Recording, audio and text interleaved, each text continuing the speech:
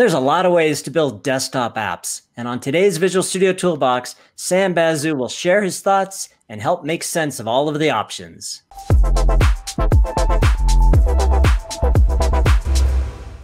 Hi, welcome to Visual Studio Toolbox. I'm your host, Robert Green, filling in for Leslie this week, and I'm very excited to have as my guest today Mr. Sam Basu. Hey, Sam. Hello, sir. Sam is a uh, developer advocate at Progress and also is half of the answer to a trivia question, which is who are the only two people who never worked at Microsoft to host a Visual Studio Toolbox episode? oh, that's that's very true. The answer is Sam Basu and Ed Charbonneau. Yeah, I, I, I love the uh, Channel 9 studios. I love being there, and we are missing out, but uh, hopefully someday. Some yeah, someday. Until then, we are at least online. We get to hang out. Exactly. And today we're going to talk about desktop development. Now, you know, we've heard for years and years and years that the desktop's going away, but somehow it never does go away. It's still here, and there's a lot of options. And in only 15 to 20 minutes, we're going to review kind of the choices and the options and you're going to give us your take on it. I know there was a .NET Conf focus on Windows about a week or so ago, but uh, I thought maybe you could give us just your kind of high level overview of what's going on in desktop development and what are all the options and what should people do and think about doing. Sure, sure. Yeah, it's. Uh, I think it's a fun time actually. Um, so uh, yeah, let's let's uh, bring up my desktop so we could uh, talk through some of the options here. So first up, like we are talking about hitting the desktop as a yeah. .NET developer. Uh, I mean, there are other ways, other things you can do, um, but um, to me, right now, like um, this is a lot of flexibility. But I also understand why it brings a little bit of confusion because uh, we developers love a lot of choices until we have too much of choice and then we're a little yeah. crippled and we second guess ourselves. Uh, so the good news is everything you know and love, uh, it's going to stay the same. And then you can learn new things as you uh, target newer things. Uh, like you said, uh, Robert, like desktop, powers so many enterprise workflows. It's not going to go away anywhere. We are just making the story better. So uh, let's talk about Windows. How can you build Windows desktop apps? And there's a lot. Uh, the traditional ones, those are still there and running strong. So Windows Forms, that's probably about uh, 17 years old now, going strong, mm-hmm. very, very productive. WPF probably about 15, uh, and again, uh, super rich uh, XAML C sharp based uh, code bases that you have and the ecosystem and the tooling, all of the, both of those things are so strong, and um, they don't need to be like the old school, like ten year old uh, WPF or WinForms app. They could look modern, fresh, and they run on uh, .NET Framework full, which is what they have always done. But you can run them on .NET Core, you can run them on uh, .NET 5, and moving forward .NET 6. There are some uh, .NET upgrade assistants that are in the works, so you can bring your older uh, applications to the modern world and kind of utilize all of the APIs and all of the beautiful new UI that you have. So all of that is here to stay universal Windows platform. That is another way for you to build uh, desktop apps, and that's not again going anywhere. But this reaches to HoloLens and, and Surface Hub and all of the other Windows uh, devices. Uh, and then um, again, I mean, some of it is uh, confusing. I can see that because again, the same term has been kind of interchangeably, used. So we also have Windows UI, which is uh, very exciting. Win UI 2 was a different thing. It was a UI stack just for UWP, but Win UI 3, which is actually at the time of uh, we are speaking here, uh, it's still in preview. It's meant to come out by the end of March in 2021, and then kind of flourish and go GA after that. Uh, that is kind of a whole UI stack that actually promises run on both Win32, uh, so .NET runtimes and .NET 5 and 6, uh, but also UWP, which is .NET native. So uh, you got best best of both worlds. Uh, you can bring in C Sharp, you can bring in C++. So that's all the Windows and uh, XAML you story. You can also bring in the Uno platform and go cross-platform. You could, yeah. You, if you wanted to take the. Windows XAML, if you are really tied to it, then uh, yeah, Uno platform is your choice. But uh, let, us hold on to the cross-platform story because I think uh, that is getting a lot more love this year, in particular with Maui. Uh, but just to kind of wrap up, like the, some of the other choices you have, because again, as a developer working on an enterprise, you're likely not just building one thing, right? So I always say, take a look around as to what else are you building, where can you share code what else is your team comfortable doing? So if you're into web stuff you should be uh, looking at web stuff. Uh, you can build progressive web apps which are essentially web applications and then you can install them on a desktop. And you don't get quite all, all of the features. You're still within the browser sandbox but it is a start uh, and then um, Electron is uh, also a very good option, and it's been battle tested. It's been around for a while. If you look at some of the major applications like uh, you know Teams and VS Code and yep. Uh, you know Slack and Figma, all of those are essentially web apps running beautifully on desktop, uh, and that's through Electron. It gives you that shell, and it gives you some deep OS integrations. Now. Um, if you did not need all of that, uh, what you can get away with uh, and what Electron makes you do is bundle in Node.js, the runtime, and Chromium, uh, the browser engine, with it. Mm-hmm. So your app always has the confidence knowing exactly what it's running on. If you didn't need that, maybe you can get away uh, without doing it. So that's where some of the other newer options are coming in. If you still wanted to do uh, Xamarin, or uh, XAML essentially, but you are not so tied to the Windows XAML, then Xamarin Forms has always been an option. Uh, you could u- reach UWP with Xamarin Forms. You could reach uh, WPF apps with Xamarin Forms because essentially you're rendering native UI from uh, Xamarin Forms uh, UI stack. But the two newest things that I'm actually personally most excited about are uh, what's called Blazor on desktop, or and then .NET MAUI. So um, to uh, to your point, um, uh, Robert. So uh, Blazor gets a lot of love, and again, you can build web applications that are now running on desktop, but not through the Electron shell. We are using the most modern web views in every platform. Uh, mm-hmm. so that's WebView 2 on Windows, and then uh, WK um, web browser on uh, on Mac.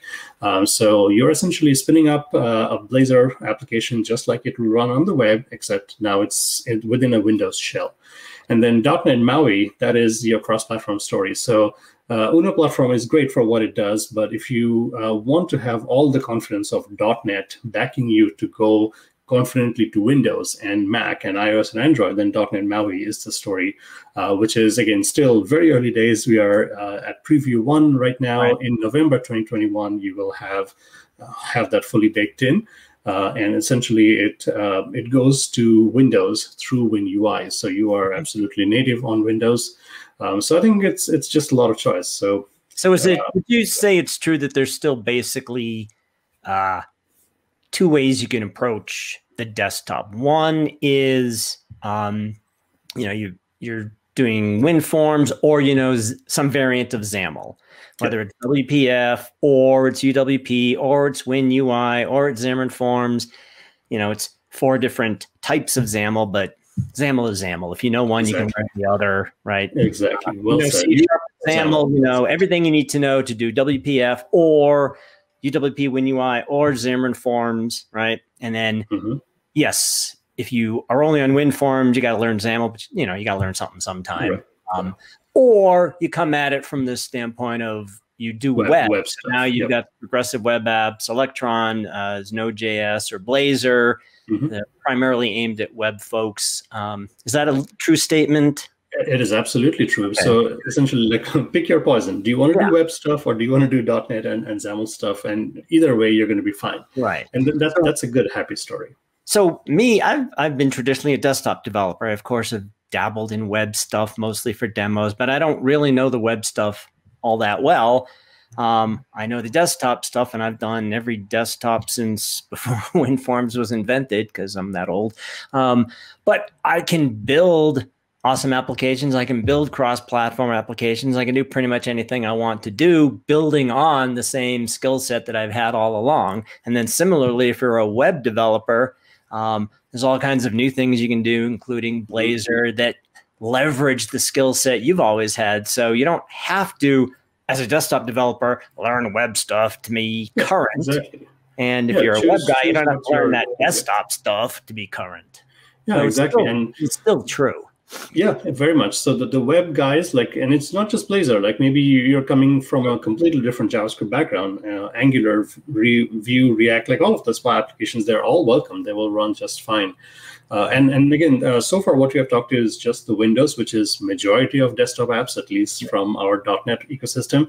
But if you want to bring up my screen one more time, like there are others, right? So you can actually very easily reach Mac OS now uh, and yeah. Linux, like for the hardcore folks who run Linux mm-hmm. as their desktop. Uh, this is all .NET as well, and this is all web as well. If you want to do web, Electron is welcome. Uh, if you want to do uh, XAML and C Sharp, then uh, Xamarin.Mac has always been there. You also have some Mac OS renderers that sit on top of Xamarin Forms, which is essentially what Blazor Mobile Bindings is doing right now. But eventually they will uh, sit on top of .NET MAUI. And one other thing that uh, they're talking about opening up is um, .NET MAUI, but through Mac Catalyst, which is essentially yep. Apple's way of running iPad apps on the desktop. Because Apple has a similar problem. They, they don't have a lot of folks wanting to build for the Mac desktop. So they're wanting to get iOS apps to run on desktop. So uh, probably another way for .NET MAUI to kind of help out. And again, uh, if you're running on Linux, then you do have renderers again. Um, mm-hmm. So I think um, as a .NET developer, like this gives me a little bit of joy that my code just goes to so many places. And, and like you said, like you pick whether you want to do web stuff or you want to do .NET. Yeah, it's it's interesting that you know that we still make the distinction between desktop and web and mobile. When if you think about it it's just apps right? I mean every there there's apps. They have a ui and they talk to some data somewhere and there's code that links the two up. And then you have various screen factors whether it's your surface machine or your mac or your phone or your other phone or someone else's phone or your ipad. I mean i've got you know, Windows and iPhone and iPod and iPad and an Android. I've got those all in the house, and I want the I want the apps to run on everything because if I'm sitting here on my phone, I want to be able to call up the app. And you know, right now this is an Android phone, but I, I'm thinking of switching over to an iPhone as my primary phone. But it's still my phone. It's still a computer. It should still run apps, right? Yeah, no. So Absolutely right, and and so most of what you're saying um, we can do right now. I mean, apps are apps, and yeah. you can put things in a shell. And you can run it on desktop. You can put things in WebAssembly, run it on on, on a browser. Uh, I think where you see some of the edge cases is what exactly is your app doing. If you are really into uh, some of the touch features, you might want to uh, choose something that's a modern platform that runs as touch on touch friendly devices or as mouse and uh, uh, like keyboard on on desktop.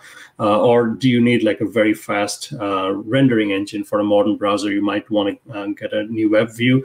But if you think robert about uh, some of the really intense desktop applications like uh, graphics applications. Yeah. those are actually a little intensive on sure. on your cpu and gpu they're very busy in terms of the ui some mm-hmm. of that is still a little hard to do on the web. Uh, it's not undoable but it just takes a lot more work. So i think desktop is here to stay. Uh, i mean an enterprise line of business apps will always uh, power workflows through desktop.